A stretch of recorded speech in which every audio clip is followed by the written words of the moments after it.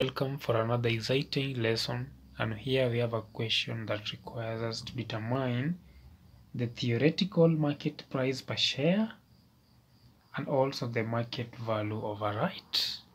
Now this is what the question states. Let us go through the question and be able to condense each and every particular item in the question. So TNT Limited has a paid up share capital of 1.2 million shares of 20 each. The current market price per share is 36 shillings. The company has no loan capital. Maintainable earnings before tax are forecast at 4.8 million. And then we are told that the company's effective tax rate is 40%. The company requires to raise a further 15 million in order to achieve additional earnings of 2.2 million per annum and proposes doing this by means of rights issue. Now, it's supposed to be much, uh, it's supposed to be clear to you that we are not going to use every detail that have been given here. You're supposed to know what actually this question requires. And from the close examination, this is an existing company that wants to raise additional capital in for its financial operations. And one of the means that is going to do so is by rights issue. So i want us to begin from there. Now basically when you talk about rights issue a company using the rights issue to raise additional capital we are referring to a method of raising ordinary share capital of a particular company by giving privileges to the existing shareholders to subscribe to the shares at a price below to subscribe to the shares at a price below the current market price per share. So the existing shareholders subscribe the shares at a, a lower price than the, the, the, the existing current market price per, per shares.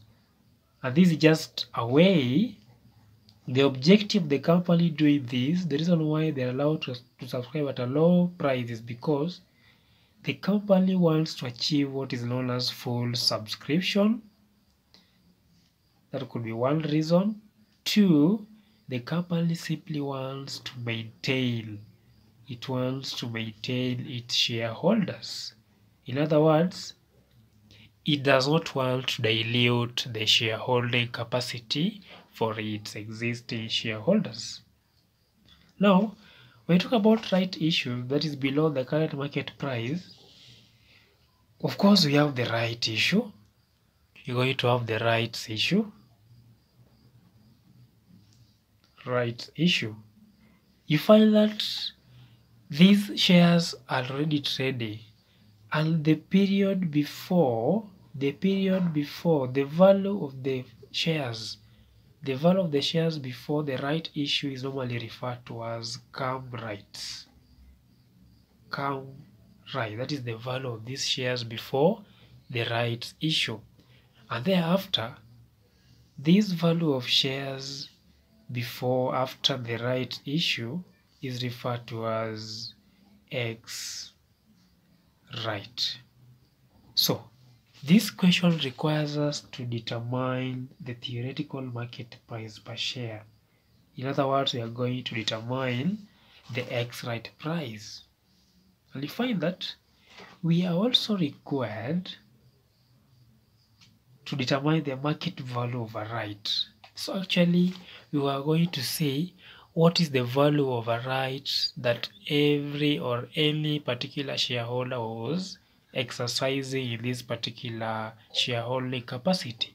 In other words, we are going to get the difference between cum right, that is the difference between the value between cum rights until the X right is exercised. This one will give us what is known as the market value of right. Of course, we are going to get the curve right in this question minus the ex right from that particular question. Now, I want us to begin by the questions and look at these. We are told that TNT Limited has a paid up share capital of 1.2 million shares. Paid up capital means that this company had an authorized share capital above 1.8, 1.2, and out of that, those who paid was totally to 1.2 share. That's what it means. So the paid up capital is essentially a, a share capital ordinary share capital we are given as 1.2 the current market price per share is 36 shillings. Okay?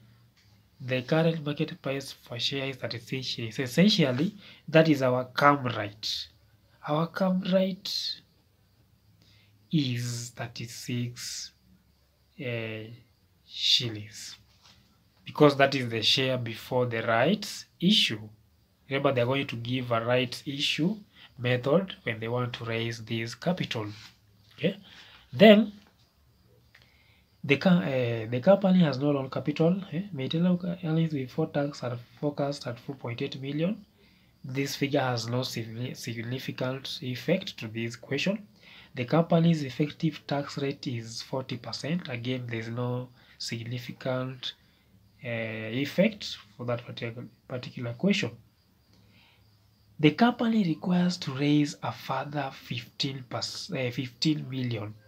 So this is actually what the company requires to raise 15 million in order to achieve analysis of these 2.2 million. So we are supposed to concentrate on the value that the company requires to raise by what is known as the rights issue. But now we are told here when the price is 32 shillings per share, find the theoretical market price.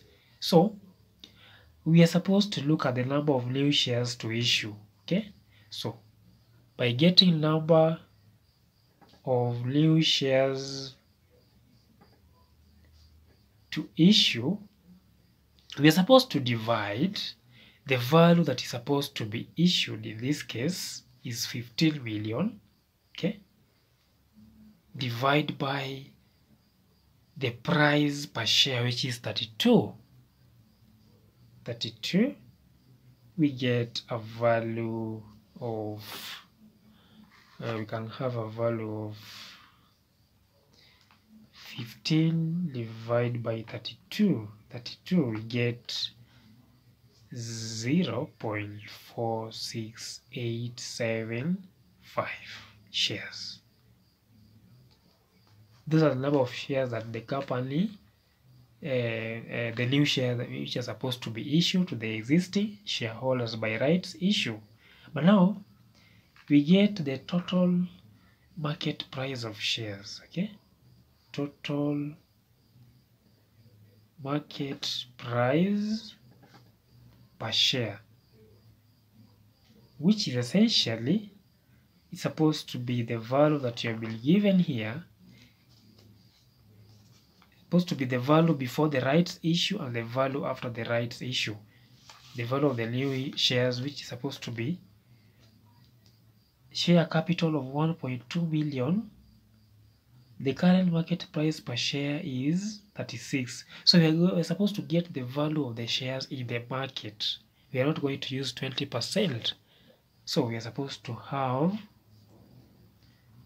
36 supposed to be 1.2 times 36 we get a value of 1.2 times 36 we get 43.2 million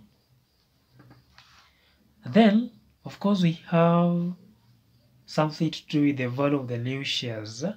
And the new shares which is actually new shares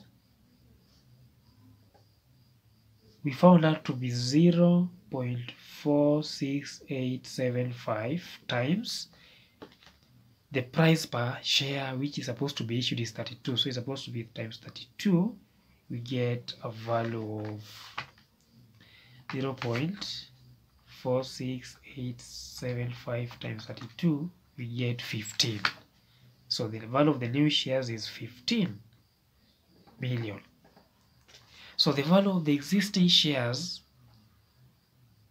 which is supposed the value of the existing shares which was paid up and the value of the new shares is 15 so we add the two when you add this supposed to be 2858 so 58.2 is supposed to be the total market price of the shares that are trading okay? We are supposed to divide it with the value of or the, the value of the number of shares in this particular market. Remember we initially had initially we had paid up capital number of shares so total number of shares is supposed to be 1.2 which was paid up the paid up uh, shares capital of 1.2 million plus. The new number of new shares to be issued plus 0.46 plus 0.46875 that is the number of shares which are already existing in this particular company and we get a value of so 1.2 uh, 1.2 plus 0.46875 we get a value of 1.66875 shares. This one reflects the number of shares in the market. So we divide the market price per share in the, in the market. So we divide by this one to get actually the value of ex right so to, to get the ex right of market price per share we're supposed to divide the market price per share which is 58.2 divided by 1.66875 and we get a value of value of we get a value of so 58.2 divided by 1.66875 you get a value of 34.876 uh, remember that we said we are now supposed to get the value of rights the value of rights. The value of rights that were exercised throughout this period. Before right issue and after right issue. So the market value of right is supposed to be the difference between cum rights and ex rights. And our cum rights was 36 shillings per share. So it's supposed to be cum right cum rights minus ex right So we have our cum right was 36.0 minus ex right which is 34.88 rounded off. And we have a value so 36 minus the answer supposed to be 1.2 1.12 uh, shillings so this is the value of the right that was exercised by this particular uh, shareholders as per the rights issue. Please don't forget to subscribe if you find this video helpful.